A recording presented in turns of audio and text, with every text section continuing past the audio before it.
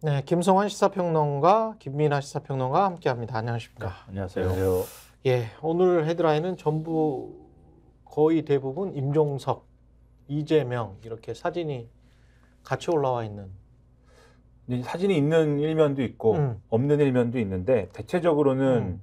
임종석 전 비서실장 컷오프 사, 어, 그 관련한 기사가 일면에는 다 있습니다. 예. 기사가 있는데 뭐 내용을 뭐 설명을 해드리면 다 아시겠지만 어제 더불어민주당의 전략공천관리위가 임종석 전 비서실장을 서울 중구 성동구 갑 공천에서 배제를 하고 전현희 전 국민권익위원장을 전략공천하기로 의결을 한 거예요. 이 전략공관위 내에서도 이 임 전 실장 배제에 대해서는 찬반이 좀 이렇게 나뉘었는데 하지만 어, 의결이 강행이 됐다 이렇게 보도를 하고 있고 동아일보의 경우에는 그 맥락을 뭐 이렇게 해설을 합니다. 이해찬계인 김성환 인재영입 위원장하고 친문계 한병도 전략기획위원장의 경우에는 막판까지 반대를 했는데 결국은 이제 어쨌든 어, 의결은 이렇게 됐다. 음. 그러니까 이게 왜 이런 맥락이 있냐면 이전까지 보도에 쭉 나온 게 이제 이해찬 전 대표 같은 경우에는 이게 결국은 임종석 이 공천 문제가 뇌관이 돼버렸으니 이번에 공천을 안 하면 분열이 너무 커진다. 공천을 해야 되지 않겠느냐라는 의견을 전달했다는 보도가 있었던 거잖아요. 예. 그런데 어쨌든 공천이 됐다라고 하면 그럼 여기서 어떤 맥락이 생기냐면 아 이재명 대표가 뭔가 이제 이해찬 전 대표와의 어떤 뭐랄까요 서로 이제 어떤 도움을 주는 관계 음. 이런 것들도 어느 정도가 어느 정도는 없어도 된다고 생각하는 거 아니냐 이런 해석들이 나올 만한 맥락이 있다 이런 걸 강조하는 언론의 흐름이 있는 것이죠. 그리고 지금 또 하나 이제 남은 가능성이 어, 안규백 전략공간위원장의 경우에는 이 임종석 전 실장을 다른 지역구에 공천할 가능성이 있지 않습니까? 예. 지금 컷오프를 한 거에 대해서 예. 대표적으로 송파갑에 계속 나가는 게 어떠냐라고 지금 어. 제일 한게 있는데 거기에 대해서 아직 논의한 바 없다라고는 얘기를 하고 있어요. 근데 어. 오늘 임종석 전 실장이 기자회견 하기 때문에 재채기가 나올 것 같네 갑자기. 기자회견을 11시 40분에 한다는 거예요? 누가 누가 여기서 제 욕을 네. 네. 어, 요거하면 재책이 나와요? 그러니까 그런 그런, 그런 미신 그런 미신도 믿어? 네, 그런 속설이. 아, 그래서 어, 그런 속설은 처음 들어봤습니다. 네, 그래서 오늘 네. 기자회견에서 그런 입장을 재채기하면 누가 내 욕한다 그런 속설 누가 만든 거야? 네, 귀가 가렵든지 귀가 가렵든지. 귀가 가렵다는 들어봤는데. 네, 그리고 네. 그런 얘기까지 나오느냐 요거를 네. 하나 보는 것 같고 그 다음에 어제 또 고민정 최고위원이 당무를 거부하고 있었는데 이 결정이 나오고 나서 음. 나는 더 이상 할 수 있는 역할이 없다라면서 사퇴를 했고요. 그리고 이제 오후에 의원총회가 있었는데 예. 당연히 의원총회에서는 뭐 난리가 났겠죠. 예. 어 이른바 이제 비주류들이 음. 어 이거 이재명 대표가 완전히 사당화하는 거 아니냐 뭐 이런 얘기를 하면서 음. 굉장히 큰 반발이 일어났고 여기에 이재명 대표가 원래는 참석을 안 하려고 그랬다라고 하는데 왜냐하면 재판 일정이라든가 이런 게 있어서 음. 참석을 못할 것 같다라고 했는데 참석을 했거든요. 조금 늦게. 예. 근데 이 참석을 했기 때문에 사진이 굉장히 많이 찍히지 않았겠습니까? 그렇죠. 그래서 그런 것과 관련돼 가지고 이재명 대표한테 그러면 아, 오셨으니까 좀 발언을 하시겠습니까? 음. 물어봤는데 아, 예. 아 발언 안 합니다. 예. 발언 안 합니다. 네, 이렇게 안 한다는 사진이 찍혔지. 음, 그렇죠. 발언 안 예. 한다라고 해서 이재명 대표는 여기서 듣고만 있었던 겁니다. 예. 듣고만 있다가 이제 의원총회는 끝난 거고 예.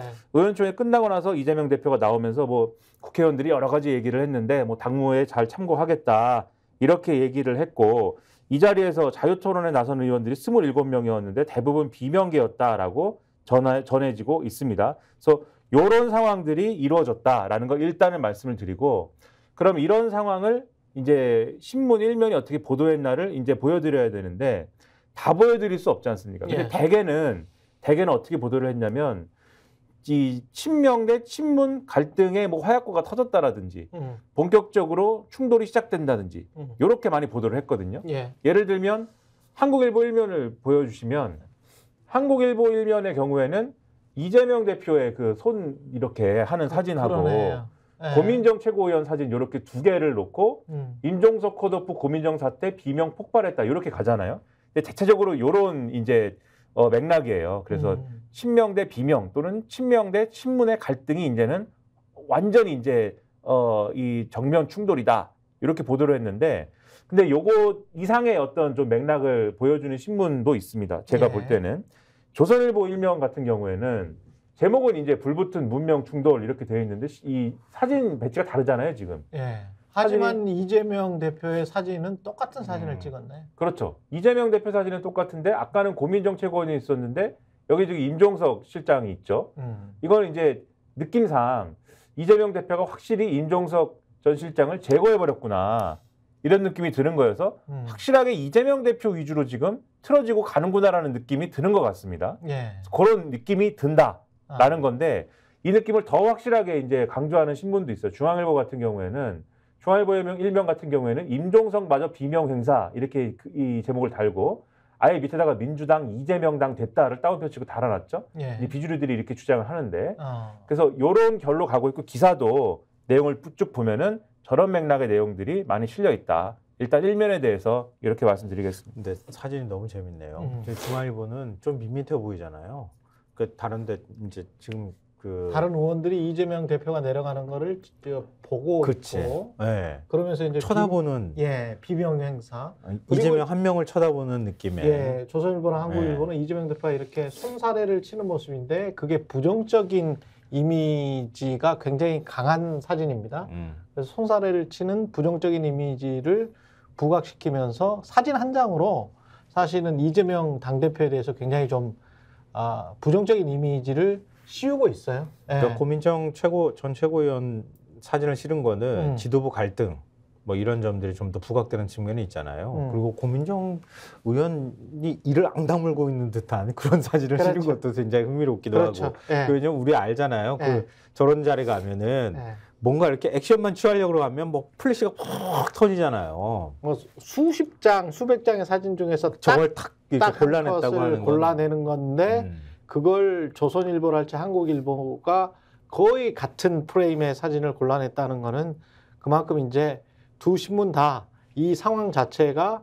이재명의 책임이다, 이재명의 탓이다, 음. 이재명에 관한 부정적인 이미지를 사진 속에서도 녹여놓고 싶어하는 편집국의 강력한 의지가 담겨 있는 강력한 의지 이를 앙다물면서 강력한 의지가 담겨 있는 거죠. 아니 예. 근데 조선일보는 네. 그 동안에 뭐 그 민주당이 추진하고 있는 선거 연합 얘기도 네. 이것도 뭐 인용 공세를 펴기도 하고 그랬었잖아요. 예. 근데 이른바 이제 운동권의 상징적인 인물이 된 임종석 전 실장 문제에 대해서 예.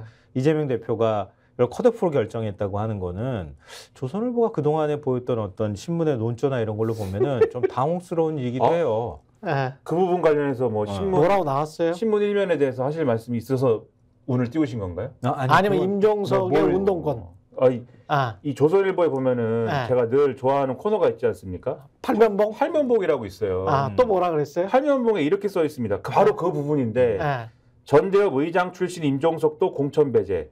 운동권 청산 내건 여당 역입 1순위는 이 대표 혹은 임혁백 이렇게 써놨습니다. 네, 운동권을 쳐냈기 때문에 꼬고 꼬고 꽈네. 운동권을 예. 쳐냈기 때문에 이재명 대표나 임혁백 예. 공관위원장을 영입하고 싶다.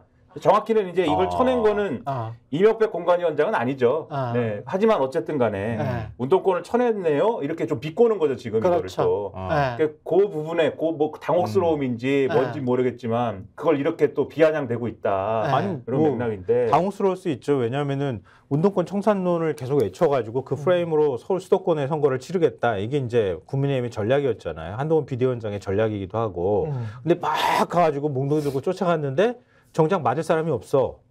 그럼 때를 이거 헛손질을 해야 되는 상황이잖아요. 근데 거꾸로 말하면 좀 당혹스러운 얘기도 해요. 그러니까 여당의 선거 전략으로 보면은 전략 하나가 사라지는 효과로 나타날 가능성도 있는 거죠. 근데 오늘 조선일보가 그렇게 가면 근데 또 조선일보 같은 신문들이 수가 없는 건 또 아니지 않습니까? 또 다른 데를 가지고 또 막 이렇게 수를 쓰겠죠. 음. 음. 오늘 이제 뭐랄까 뭐 이간질이라고 해야 될까요? 뭐 음. 어떤 사이를 벌리기라고 해야 될까요? 음.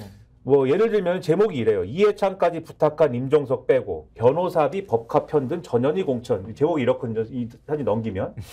근데 저는 뭐 제목도 제목인데 변호사비 뭐라고요? 변호사비 법카 편등 전현희 공천. 아 이재명의 이재명, 변호사비 대납 의혹과 아. 그렇죠. 김혜경 여사의 법, 법인카드 관련해서 그걸 편들었다. 음. 그 제목은 그런데 저는 제목보다 항상 내용이 더 재밌다고 생각하는 사람인데 음. 이 내용을 보면은 이런 얘기들이 나와요. 결국은 이게 어, 다각도로 결국은 이게 명문 전쟁으로 번질 수 있다는 우려가 전달이 됐는데도 받아들이지 않은 거는 이재명 대표 의지가 반영된 것이라는 설명인데 그래서 이제 반발이 큰데 어 그리고 앞으로도 파열음이 커질 것이라는 우려가 많아서 이제 그런 것들이 전달된 것이고 또 지난 4일날 문재인 전 대통령과 이재명 대표 양산 회동 당시에 음. 문재인 전 대통령이 우리는 명문 정당이라면서 단결을 강조한 것도 그런 차원이 아니냐 뭐 이런 서술이 있습니다. 제가 재밌게 본 거는 이런 대목이 있어요. 민주당 중진 의원은 당시 문 전 대통령이 임 전 실장을 포함한 세명을 언급하면서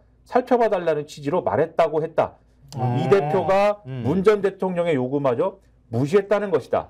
문 전 대통령이 말한 세 명은 모두 이번 공천에서 배려받지 못한 것으로 알려졌다. 이렇게 누구, 써 있거든요. 누구? 누구. 그건 이 신문이 안 좀- 쓰죠. 아니, 왜- 임종석을 비롯한 그렇죠. 임종석을 비롯한 나머지 두 명이 있고 그렇죠. 세 다, 명이다 다 합하면 다 공천을 못 받았다. 근데 제가 이 세 명 얘기를 음, 저도 뭐 일은 별로 없지만 예. 방송국을 왔다 갔다 하면서 그게 일이잖아. 그쵸. 근데 이제 별로 없지만 예. 그뭐 김성환 평론가 위원장님보다야 뭐 예. 10분의 1 정도의 일거리가 있는데 왜 그래요? 아니 예. 사실을 말씀드리는 겁니다. 예. 왔다 갔다 하면서 이 세명 과장하지 마라. 그 보수 신문처럼 그 과장하지 말아요. 아니 저 사실만 얘기했습니다. 사실만 10분의 1 정도의 일감이 있는데 왔다 갔다 하다 보면 비슷한 얘기를 듣거든요. 예. 이 보수 논객이 예. 내지는 평론가라는 분들이 이런 얘기를 막 하는데 예. 들을 때마다 세 명의 명단이 다르, 다르고 예. 그리고 제가 들은 얘기 중에 두 명은 두 명은 공천이 됐다 뭐 이런 얘기도 있고 음. 한 명이 됐다 이런 얘기도 있고 여러 가지 얘기를 들었거든요. 예. 그러니까 이게 사실은 그런 얘기랑 비슷해요. 목포에 3대 천재가 있다라고 하는 데 예. 한 명은 확실히 아는데 두 명은 모르잖아요. 뭐 그런 음. 얘기 비슷한 얘기 같기도 하고. 근데 실제로 문재인 전 대통령이 저런 거를 부탁했는지 안 했는지도 지금 확인되지가 어, 않아요. 거죠.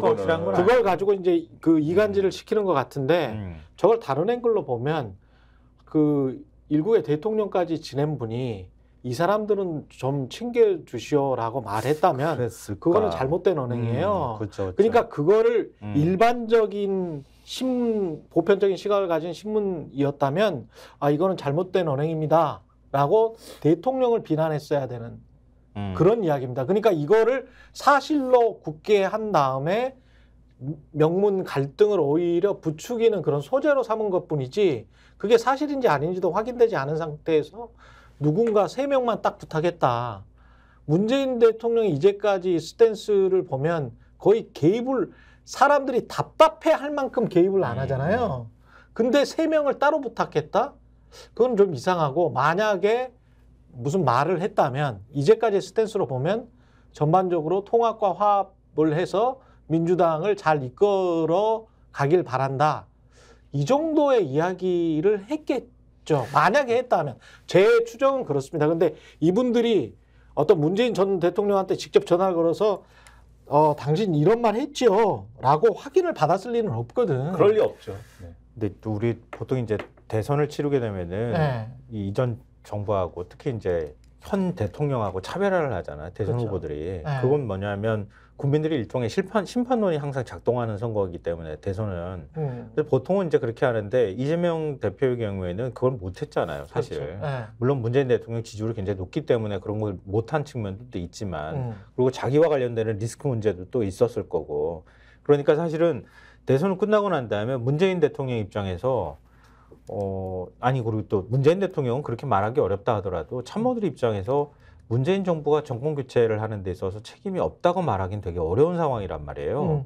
또 거꾸로 보면 이재명 대표도 난 아무런 책임 없다고 말하기 어려운 상황이고. 대선 후보였으니까. 네. 그러니까 그 애매모호한 상황이 지금까지 계속 연장이 되고 있는 것 아닌가. 음. 그 배경에는 그런 게 하나 깔려 있는 것 같고 또 하나는 그 상징적인 인물이 어느 순간부터 임종석 전 실장이 돼버렸어요.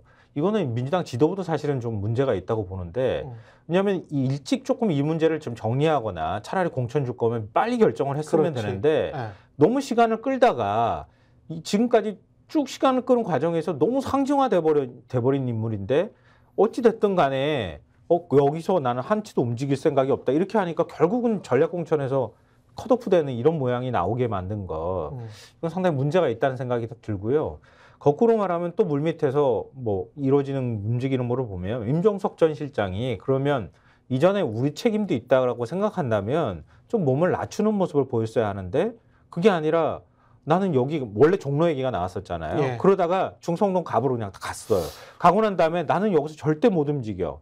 사실 당이 어떤 그 이번 선거에 따라서 전략적인 판단이 좀 필요한 부분들도 그런 있었는데 그걸. 여지를 네. 꽉 닫아두는 태도를 보였다는 원래 거예요. 처음에 종로 이야기가 나왔었지. 그리고 국민의힘 중에서 김태호랄지 하여간 비슷한 커리어를 가진 무슨 기관장도 했었고 그 저기 자, 지자체장 도, 도지사도 했었고 뭔가 이제 정권의 핵심이었던 것 같은 중진 뭐 임종석 전 의원 같은 경우도 한 삼선을 했, 했었잖아요. 그러면 비서실장도 했었고 근데 중진들에게 어떤 험지를 부탁을 했었을 때 중진들이 바꿨잖아. 부산 안에서 그냥 바꿔줬잖아요. 음. 한세 명 정도가 바꿔주면서 국민의힘 같은 경우는 아 바꿔주네 그러면서 결단을 내렸다라고 언론에서 이야기를 했잖아요. 그거는 되게 보기가 그- 보기가 좋은 모양새가. 되어버렸죠 결론적으로. 그러, 그렇죠. 그러, 그거는 그래서 보수건 진보건 아 모양새가 좋게 흘러가는구나 국민의힘은 그게 첫 단추를 잘 끼웠죠. 근데 임종석 전 실장 같은 경우는 종로 이야기를 하다가 본인의 본인이 그 한양대학 교가 그쪽 성동이잖아요. 그러면서 중구 성동 합해져 가지고 그쪽 그쪽을 계속 고수하겠다. 이 모양새가 이재명 물론 이재명 당 관리를 제대로 못한 이재명 대표 책임이 가장 크겠죠. 그 비판 충분히 할 수 있다고 보는데 그런데 임종석은 어, 임종석의 태도나 행동은 뭐 비판받을 소지가 없냐? 그러면 비판받을 소지가 굉장히 많다. 거기도 그러니까 아, 예를 들어서 뭐이 네. 부분에 대해서 이제 평론가로서 얘기를 하면 음. 음. 그런 거예요. 임종석 전 비서실장을 예를 들면 민주당이 이번에 공천 안 주겠다라는 거에 대해서 명분이 있게 설명을 했으면 음. 과연 지금 상황이 이렇게 됐겠느냐라는 의- 큰 의문이 있는 거예요. 사실 이게 명분이 그거- 있게 설명한다라는 건 뭐냐면 그것도 맞는 말이에요. 그러니까 임종석 네. 전 비서실장이 예를 들면은 물갈이 대상이다. 음. 왜 물갈이 대상인 것이냐?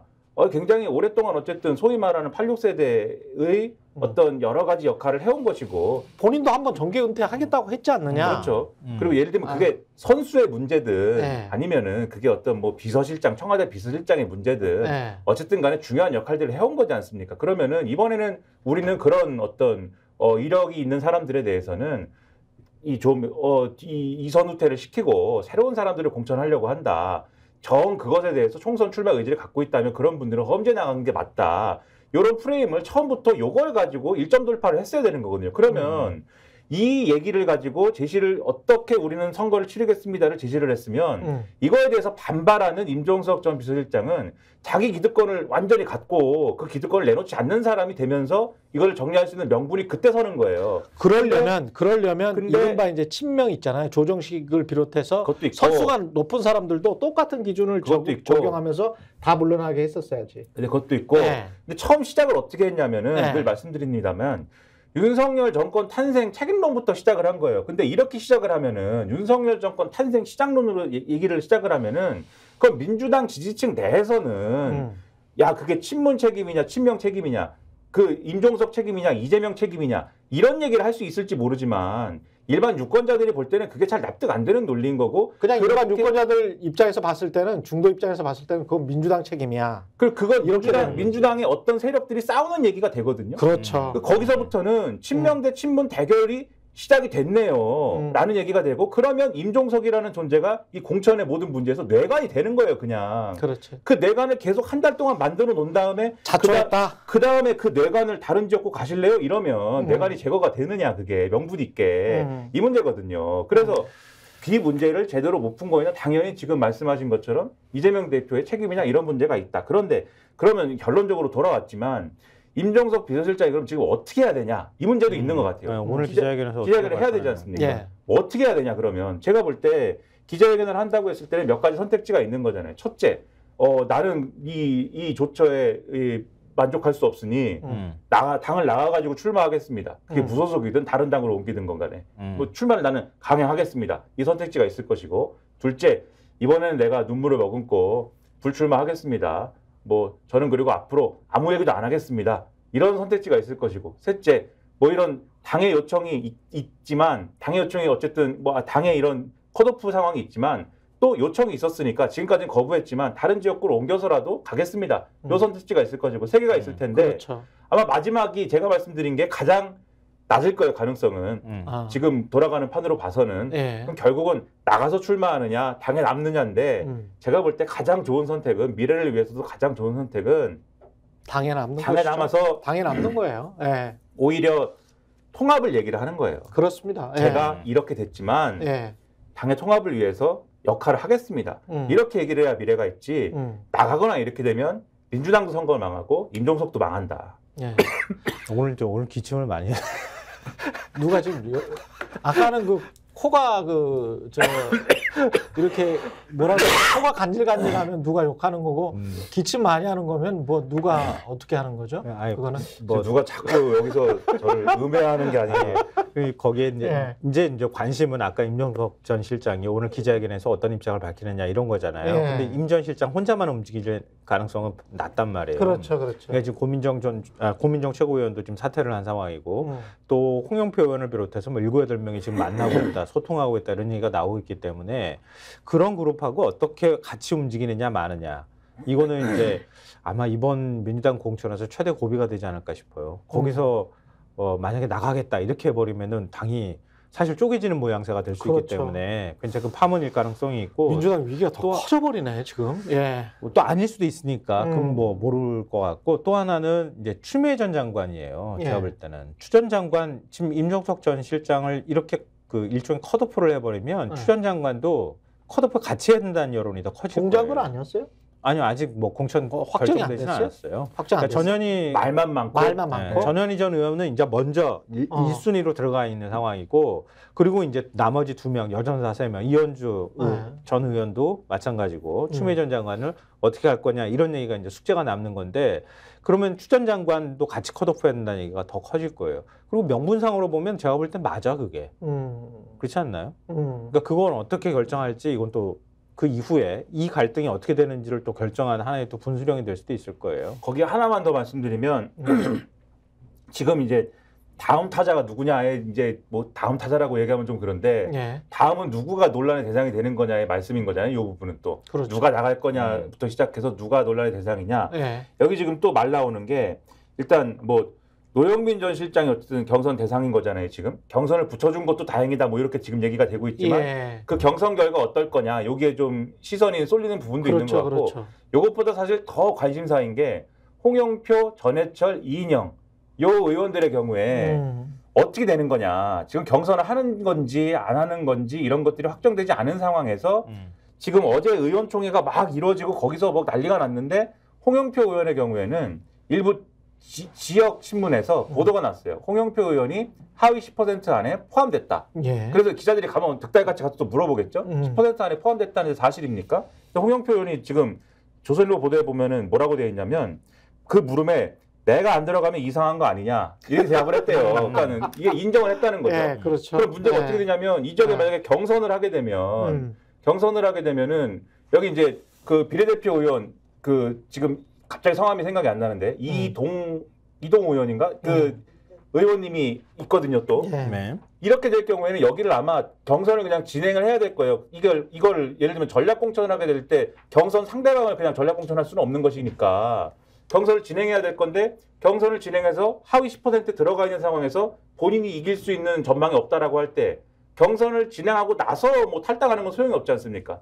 경선 전에 그럼 탈당을 할 것이냐 경선이 된다고 가정했을 때 그럼 이게 이상하게 홍영표 의원이 탈당을 하거나 이렇게 되면은 그게 또 어떤 이 기점이 될 수도 있는 거고 음. 마찬가지의 딜레마들이 전해철, 이인영 의원 등등에 지금 다 있는 거예요. 그리고 이런 게 지뢰밭이어서 이런 걸 어떻게 잘 관리하느냐. 또 지도부 입장에서는 상당히 골치 아픈 숙제입니다 지금. 지금 뭐 민주당은 정말 이 선거 앞두고 이 시점에 이렇게 이런 일로 이런 일이라는 거는 본인들의 공천이나 무슨 이제 비명 이른바 비명에서 주장하는 거는 무슨 사당화, 이재명 당화 뭐 이런 그 밖의 유권자들이 봤을 때는 굉장히 좀 그 협소한 일, 작은 일, 사적인 일 그리고 당내 일 가지고 싸우는 듯한 모습을 계속 지속적으로 노출하면 이게 이게 선거 앞두고 이게 정당이 그것도 제일 정당이 이런 식으로 행동해도 되는 겁니까?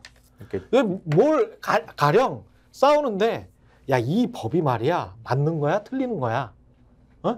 이 정책이 또는 이 가치가 우리가 이, 이쪽으로 가야 되는 거야 저쪽으로 가야 되는 거야 과거에 노무현이나 김대중이나 그할 할 때는 최소한 그런 거 가지고 싸웠었던 것 같거든요. 근데 뭐 겉으로 좀 드러나는 게 좀 거대한 게 있어야 되는데 지금 서로 무슨 당권 경쟁하듯이 이렇게 싸우니까 이, 이 사람들이 지금 뭐 하는 거지 국민들 앞에서? 근데 좀 그거는 부끄럽지도 않나? 그러니까 다른 의견이라기보다는 네. 예를 들면 예전에 민주당에서 열린우리당이 분당이 돼가지고 나오잖아요. 예. 선거 앞두고 일어난 일은 아니지만 예. 새로운 세력을 만들겠다. 그러니까 기존의 동교동계에서 벗어나는 그러니까 호남의 주축, 호남이 주축으로 있는 일종의 기득권을 혁파할 수 있던 새로운 정당을 만들겠다고 열린우리당을 만들었잖아요. 예. 그 열린우리당에서 파생돼서 노무현 대통령, 그러니까 친노계가 다시 일정 부분 친, 친문계로 넘어오고 음. 그리고 이제 친이계로 넘어가는 과정인 거잖아요. 네. 그렇게 하고 민주당이 그런 시기로 따지면은 근 한 10여 년 이상을 기존의 어떤 하나의 흐름으로 쭉 이어- 이어왔던 거란 말이에요. 근데 그러다가 이제 당 자체의 어떤 권력 구도가 완전히 바뀌면서 민주당이 이제 새롭게 바뀌어가는 과정인 거예요. 음. 그러니까 어, 저도 누가 욕하나? 그러니까 그렇게 오는 과정이니까 네. 어찌 보면 사실은 성- 정치라고 하는 게 권력을 만들어가는 과정이니까 자연스러운 일이라 뭐 이렇게 또 평가할 여지는 없지는 않아요. 음. 반론도 저는 있을 거라고 생각하는데요. 어찌 됐든 간에 선거를 앞두고 국민의힘은 상대적으로 조용한데 어떤 이유였든 음. 간에 음. 그게 그렇게 뭐 좋은 이유는 저는 아니라고 보지만 분명히 분명히 문제가 있지. 김건희 특검 방탄 국회를 하기 위해서 최상병 특검 방탄 국회를 하기 위해서 현역 의원들을 그렇게 대거 투입하고 용액관 중심으로 가고 있는 것에 관해서 사람들이 비판할 여지가 굉장히 많아. 음, 근데 이쪽에서 너무 싸우니까 관심이 다 이쪽으로 가는 거야. 음. 그게 물론 언론의 프레임이라는 측면도 분명히 있겠죠. 있지만 싸움이 크, 크게 나면 우리가 언론이라는 게 불구경 무슨 뭐 싸움 구경 뭐 이- 이거를 주로 많이 보도를 하잖아요. 싸움이 이렇게 크게 나면 언론이 보도를 안 할 수가 있습니까 이걸? 뭐 시각이 엇갈릴 것 같아요. 네. 제가 볼 때는 임 전 실장을 컷오프한 부분에 대해서도 뭐 반응은 좀 엇갈릴 것 같아요. 음. 임전 실장이 일종의 이제 운동권의 상정화되기 너무 지나치게 상정화돼 있다고 아까 제가 말씀드렸던 것처럼 예. 차라리 빼는 게 낫겠다. 민주당 지지층, 지지층 사이에서도 아마 의견이 좀 엇갈리는 측면이 있을 거예요. 그리고 국민의힘은 혁신하거나 아니면 물갈이를 좀 해야 될 필요가 있을 텐데 그런 거는 너무 지나치게 안 했는데 민주당은 하여튼 당내 갈등이든 뭐 그게 개파 갈등에 의해서 나타난 현상이든 간에 어찌됐든 민주당은 뭔가 변화를 하려고 하는구나라고 하는 게 뭐 앞으로 제가 볼 때 한 일주일 남짓한 기간 동안에 임전 실장 문제가 정리됐기 때문에 굉장히 속도감 있게 공천이 진행될 가능성이 있거든요. 또 빨리 끝내야 돼. 빨리. 끝내야 돼요. 어, 너무 질질 끄면 안 되기 때문에 빨리 끝내야 돼요. 최대한 빨리 하여튼 6월 리스크를 좀. 없애고 예. 난 다음에 한 달 정도 기간이 남게 되잖아요. 음. 그 기간 동안에 과연 이렇게 시끄러웠던 부분들을 어느 정도 상쇄할 수 있는 조, 조치들을 취할 것이냐 이게 민주당에 있어서 굉장히 중요한 것 같아요. 개나리- 이 얘기만 계속할 수는 없으니까 개나리 우리가. 필 때는 개나리 꽃이 보여야 돼요. 계속 그 뭐 눈 보이고 무슨 나뭇가지만 보이고 아주 생경한 싸우는 모습만 보이고 이러면은 안 됩니다. 제, 제가 보기에는 민주당 한 일주일 안에 모든 걸 다 끝나 끝내지 않으면 아 굉장히 총선이 힘들어지고 있습니다. 음. 국민의힘 같은 경우는 알고 보니까 다 그냥 아휴 왜 이렇게 늙은 공천이에요? 그러니까 지금 예. 국민의힘이 예. 공천을 국민의힘- 하다가 쉬고 있거든요 지금 예. 며칠 쉬고 있습니다. 네. 왜 쉬고 있는지는 뭐 늘 말씀드렸지만 또 말씀드릴 건데 예. 내일 내일이 디데이잖아요. 네. 그렇죠. 음. 쉬고 있는데 아무튼 이제 쉬고 있다 보니까 기자들이 계속 질문을 하잖아요. 근데 쉬고 음. 있다고 해서 기자들이 아 쉬고 있으니까 질문하지 말아야지 이러진 않지 않습니까? 이- 한동훈 비대위원장한테 음. 질문을 했습니다. 네. 왜냐하면 어제도 말씀드렸고 그제도 말씀드렸는데 야 이거 공천한 거 열어보니까 음. 이거 뭐 친윤들이 다 공천 받고 그렇죠. 음. 현역들이 다 하고. 그렇죠. 현역 현역은 불패고 네. 심지어 이원 이원모 전 비서관 같은 경우에는 뭐 전국을 떠돌더니 결국은 용인갑에 갔네, 양재 음. 갔네 예. 이런 얘기가 되다 보니까 음. 막 예. 질문을 했는데 국민의 한동훈 비대위원장한테 친윤들이 주로 공천을 받고 세대 교체도 되지 않고 뭐 어떻게 된 거냐라고 했는데 한동훈 비대위원장이 이상한 얘기를 했죠. 음. 반대의 지점도 보이지 않았, 않느냐, 처음에 한 거를 다 잊어버렸느냐, 뭐 이렇게 음. 얘기하면서 예를 들면 제가 출마 안 하지 않았느냐, 장재원 의원도 불출마했다 이렇게 얘기하는 예, 이렇게 어제 얘기를 막 했습니다. 음. 전형적인 그 동문서답식 방식. 그렇죠. 뭐 이렇게 얘기를 했는데 이 답에 대해서 조선일보가 뭐 이 기사를 쓰면서 네. 이렇게 썼어요. 이른바 친윤 핵심으로 분류되는 권성동, 이철규, 윤한홍 의원 등이 공천을 받은 데 대해서는 언급하지 않았다.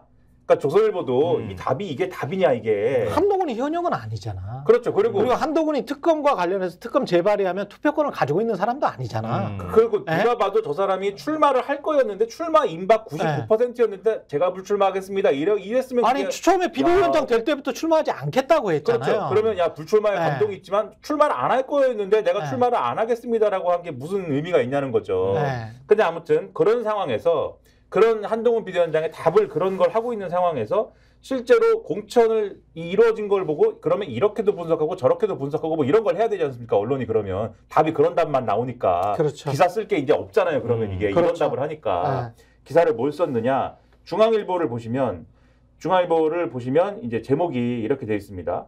현역 불패 신인 험지 평균 58세 쇄신 희미해진 여당 공천. 네, 중앙일보가 준비되어 있으면 보여주세요. 평균 58세예요. 네. 네. 그래서 평균이 58세인 사람들인데 686이네. 어, 지난달 네. 16일에 정영환 국민의힘 공천관리위원장의 첫 공관위 회의 당시 발언을 인용했어요. 청년, 여성 인재, 유능한 정치 신인의 적극적인 발굴과 등용에 매진하겠습니다. 국민 여러분 두고 바라봐 주십시오. 이렇게 얘기를 했는데 지금까지 공천 결과에선 그 약속은 공수표로 확인되고 있다. 중앙일보가 이렇게 기사를 썼습니다. 근데 이유가 이유가 특검 방탄국회라는 거를 지적하는 언론은 많지 않아요. 아니, 근데 음. 그걸 조금 들어보세요. 이걸 이 기사를 다 소개를 음. 드리지 않았으니까. 예. 그래서 국민의힘이 253곳 지역구 중에 절반 넘는 133곳 후보를 확정을 했는데 여성이 12명, 전체 9%로 지난 21대 총선 당시 미래통합당의 여성 공천 비율인 11.1%에 미치지 못하고 음. 청년 공천 비율은 133명 가운데 3, 40대가 18명, 13.5%인데 지난 총선 때는 19.6%여서 지난 총선보다도 못하다. 예. 총 공천을 공천이 확정된 신인 상당수는 또 험지로 보내졌다. 음. 이 지적을 하면서 지금 말씀하신 대목 음. 청년 여성의 공천 비율 저하는 국민의힘의 시스템 공천에 내재한 현역 불패 경향 때문이라는 분석인데 쌍특검법 표 단속 및 제3지대 이탈을 막기 위해 현역 물갈이를 최소화하다 보니 신인 등용문이 좁아졌다는 것이다 이렇게 쓰면서 또 나이를 계산을 해보니까 20대 총선 때 56적 3세였던 새누리당 총선 후보 평균 연령이 21대 총선에서는 55.8세로 다소 낮아졌는데 이번에는 58.3세로 큰 폭으로 고령화됐고 이것도 마찬가지다. 음. 이러다가는 꼰대남 공천 소리를 들을 것이라는 내부의 논의도 나온다. 그래서 이런 지적이 있고 음. 동아일보도 비슷하게 갔습니다. 동아일보 제목 보시면 여당 늙은 공천 40대 이하 후보 비율 13.6% 그나마 홈지 배치 비슷한 얘기예요. 마찬가지로 58세 이상의 어떤 그런 내용이고 또 40대 이하 이제 이 공천 받은 사람들 중에 험지에 갔는데 험지 험지로 간- 가지 않은 사람들이 있습니다. 여당 강세 지역에 공천 받은 사람들이 있는데 그게 누구냐? 주진우 전 비서관, 이원모 전 비서관, 그다음에 조지현 전 행정관인데 음. 이 사람들 다 누구다? 윤석열 음. 대통령 핵심 측근이다. 음. 이 지적을 하고 있고 도로 꼰대당 된다 이 얘기가 있는데 동아일보에서는 이렇게 주장을 해요. 그러면 뭘 해야 되느냐? 비례대표에라도 청년 50% 비율 의무화 이거 인요한 혁신에서 나왔던 제안인데 그거라도 해야 되는 거 아니냐? 근데 어저께 뭐 말씀드렸냐면 비례대표에서 윤심이 더 발휘되지 않을까라는 우려도 있다라고 동아일보 음. 보도했다고 말씀드렸잖아요. 음. 그래서 이게 과연 청년 50% 얘기가 어떻게 되는 거냐, 행방이 어떻게 되는 거냐, 요 의문이 하나가 생기고 마지막으로 말씀드리면 한동훈 비대위원장한테 물어봤어요. 결국 이 얘기를 또 어제 특검법 재표결 때문에 공천 자금 최소화한다는 데 어떻게 생각하십니까? 음. 한동훈 비대위원장 뭐라고 얘기했냐면 잘못된 시각입니다. 작년부터 계속 있었던 일인데 어쩌라고요? 이렇게 얘기를 했고 우리 당이 그렇게 신경 쓰는 이슈 아닙니다. 이렇게 얘기했거든요. 신경 제일 쓰는 것 같은데. 그렇죠. 네. 조선일보가 여기에 대해서 이렇게 보도했습니다. 본인도 제일 신경 쓰는 것 같고. 조선일보 이렇게 네. 보도했습니다. 국민의힘 한 비주류 의원은 예. 매일 하던 공간위 회의를 어제와 오늘은 하지 않고 있는데 공천 결과에 불만을 가진 현역 의원이 특검법 재표결 때 찬성표를 던지지 않게 하려는 것 아닌가라고 했다. 이렇게 보도를 하고 있어요. 음. 이게 우리만 하는 얘기가 아니라 국민의힘 내부에서 하는 얘기다 이게. 당연히 당연하죠. 네. 그러니까 그리고 지금 예, 말씀하십시오. 민주당은 대놓고 음. 공개적으로 막 투닥투닥 싸우는 거잖아요. 예. 국민의힘은 밑장 빼기를 하는 거지. 밑장 빼기 하는 예, 거죠. 지금 국민의힘 밑장 빼기 하면서 지금 눈속임을 하고 있는 거나 다름이 없어 보이는데요. 이게 네. 국민의힘이 그러니까 한동훈 비대위원장이 들어서면서 음. 한동훈 비대위원장이 뭐라고 했어요? 40대 등용 많이 시키겠다고 얘기했잖아요. 예. 근데 나이가 더 많아졌잖아요, 지금. 거꾸로 가고 있잖아요.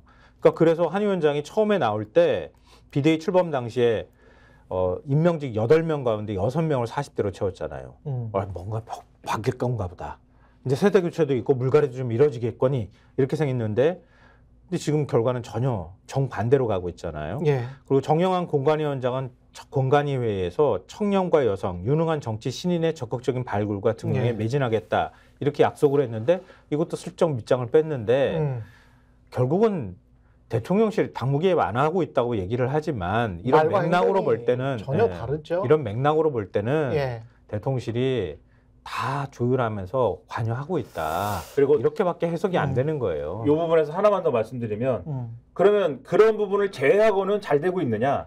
경향신문 뭐 보여드릴 준비는 안 됐습니다만 음, 말씀하세요. 경향신문 기사 제목이 이래요. 선거법 위반 고발 수사 의뢰 난무 여당 경선 진흙탕 여론전. 음. 그러니까 이게 경선을 치르는 데가 있지 않습니까? 예. 경선을 그냥 어, 정정당당하게 한동훈 비대위원장 맨날 얘기하는 것처럼 무슨 뭐 그런 시스템 공천으로 정정당당하게 경선합시다 이렇게 되지 않고 있다 지금. 예. 그냥 뭐 예를 들면 상대방이 예를 들면은 뭐 이 대표적으로 경북 김천의 재선 송원석 의원에게 도전한 김호진 전 국토교통부 1차관의 이 보도자료 내용을 지금 보도를 하고 있는데 음. 송 의원이 500명 이상 참석한 행사에서 불출정 다수를 대상으로 마이크를 잡고 축사를 진행하던 중에 자신의 의정? 활동을 예. 홍보를 했다는 이유로 이거를 공간에 알리고 고발을 네. 한다고 그러고 지금 난리가 났다는 거예요. 근데 이 사례만 그런 게 아니라 예. 양천갑의 조수진대 구자룡 구도에서도 선거법 위반으로 경찰에 수사를 네. 의뢰를 막 하고 있고 어. 대전 유성갑에서도 검찰과 선관위에 고발을 하고 예. 완전히 진흙탕으로 경선을 막 치르고 있는 그런 상황이고 음. 오늘 한결의 사설 제목은 잠깐만 잠깐만. 네. 근데 그런 어떤 조, 뭐 조그마한 사건들보다 사실은 저는 가장 큰 게 김성교 라고 네. 생각을 음. 하거든요. 그래서 네. 한결의- 관련해서는 좀쓴게 있어요. 한결의 사설 제목은 네. 그거 이제 어제도 나왔지만 오늘 네. 사설 제목은 한결의 사설 제목 이렇습니다. 비리 돈봉투 의혹도 그냥 공천, 국힘은 혁신 오는 말라 네. 이런 내용인데 지난 월요일 날도 말씀드린 그런 이제 박덕흠이라든가 이런 음. 내용을 쭉 쓰면서 김선교 전 의원 공천에 대해서 썼어요. 그는 불법 후원금 모금 혐의로 기소돼 대법원에서 무죄가 확정됐지만 회계 책임자가 뭐 해서 의원직 잃었다 쓴 다음에 의원직 상실된 사람을 아, 지금 알았- 공천시키는 그쵸. 네. 겁니다. 쓴 다음에 예. 양평 군수 시절에 윤석열 대통령 장모의 공흥지구 개발에 특혜해줬다는 의혹 받았고 서울 양평 고속도로 종점 변경 의혹에도 관련돼 있다 이렇게 지적을 하고 있고 그렇죠. 충북 청주 상당에서 공천 확정 즉 정호택 의원 청주의 한 카페 사장에서 돈 봉투 받는 장면이 CCTV 영상에 공개가 됐는데도 이게 공천이 됐다 이런 박덕흠 의원 시간 기간으로부터 가족회사가 수천억 원대 공사 수주했다는 의혹을 받았는데 그리고 탈당했다가 복당했는데도 됐다 음. 용액관들 양지막 간다 음. 이런 지적들이 나오고 있다 언론에서 그러니까 우리가 국- 다 지적했던 국민의 힘은 이, 이런 사례들을 보면 정우택이랄지 김성교랄지 사례들을 보면 어, 특히 김성교 그 다음에 그 김종대 전 의원이 그 이야기 했습니다만 임종득 신범철 같은 거를 보면 최상병 지키기 최상병 특검과 그렇죠. 관련한 아, 다 윤, 윤. 윤석열 네. 지키기 그다음에 김성교 의원 같은 경우는 김건희 지키기잖아요. 이건 철저히 특검 방탄 국회를 가기 위해서 국회의원 구성을 그렇게 만들어 버리겠다는 건데 잘못하면 피의자가 될 수도 있는 사람들 있지 않습니까? 그 의혹 사건의 연루자들을 이렇게 대거 만약에 민주당에서 김성교 같은 인물을 공천을 시켰다면 음. 어떻게 헤드라인이 잡혔을지 제가 저는- 알려드릴까요? 예. 일면에 이재명 대표 웃는 사진하고 그 사람 사진 두 개 나옵니다. 그렇게 나올 것 같아요. 두 개 나옵니다. 그리고 저는- 이재명의 민주당 이렇게 예. 나옵니다. 물론 민주당도 지금까지 우리가 이 핵심 포인트들 비판할 거리들을 많이 해서 비판을 했습니다만은 좀 너무 봐주고 있는 거 아닌가 국민의힘에 관해서 특히 김성교 같은 경우는 단수 공천을 양평에서 굉장히 국민의힘이 강한 쪽이잖아요. 경선을 해서 경선을. 했어요. 아, 경선 현역, 그걸 현역 또- 비례대표인 이태규 의원을 이겼습니다. 아 이태규잖아 또. 그렇죠. 그게 그거는 또 이제 안철수 쪽이잖아요. 그러니까 그렇죠. 여러모로 이 공천 자체는 굉장히 문제가 많, 음. 많은 맞아요. 걸로 생각할 수밖에 없는데 이, 여기에 관해서 헤드라인이 안 나오는 거는 좀 이상한 것 같아요. 그러니까 뭐 우리 그런 네. 표현들 썼잖아요. 음. 국민의힘은 쉬운 문제부터 풀고 민주당은 킬러 문제부터 풀려고 했다. 뭐다 이러면서 시끄러졌다고 하는데 국민의힘도. 지금 아직 그 지뢰밭이 남아 있어요, 많이. 네. 그러니까 내가 볼 때는 한 이번 주 지나고 다음 주 정도까지가 마지막 네. 공천 피크거든요. 네. 그러니까 민주당은 지금 속도감을 속도를 더 낸다고 하는데 아마 이 갈등 이 양상을 어느 정도 관리할 거냐가 남아 있는 숙제일 거고 음. 국민의힘은 지금 풀기 어려운 문제 이제 막 풀기 시작했단 말이에요. 그러니까 어찌 됐든 내일 디데이 넘어가면 그리고 난 다음부터 거기도 이제 속도감 있게 공천 결과를 발표할 텐데 아마 음. 거기도 좀 시끄러워질 가능성이 있어요. 열심히 밤에 비대위원장이 아마 내가 볼 때는 그 반발하지 않도록 음. 자리든 뭐든 뭐 여러 가지 밑작업을 지금 하고 있을 것 같아요. 근데 예. 하고 있는데 그게 어디까지 방어가 될지 이건 좀 지켜봐야 될 것 같고 예. 그럼 결국은 한 3월 초쯤 되면 서서히 국민들의 평가가 나올 거예요. 음. 지금까지 시끄러웠던 거 볼썽사 나온 것들은 좀 싫잖아요. 싫더라도 총선 그림이 다 완전히 그려졌을 때 언론들의 평가가 또 있을 거란 말이에요. 음. 그럼 그거에 대한 평가는 조금 엇갈릴 가능성도 있어요. 그리고 아직 네. 그거는 뭐 결과 봐야지 알 것 같고요. 예. 네. 그리고 우리가 사전 투표가 있기 때문에 민주당 빨리 갈등 해결해야 된다라고 하는 게 일주일 전에 사전 투표 하지 않습니까? 그렇게 생각을 해보면 그렇게 시간이 많이 남은 게 아닙니다. 음, 예. 네. 지금까지 스콕스 아, 김성환 평론가 김민아 평론가였습니다. 고맙습니다. 네. 예. 제가 홍보를- 정치권색 예. 다시 제가 말씀드리죠. 예. 구독, 좋아요, 사랑입니다. 예.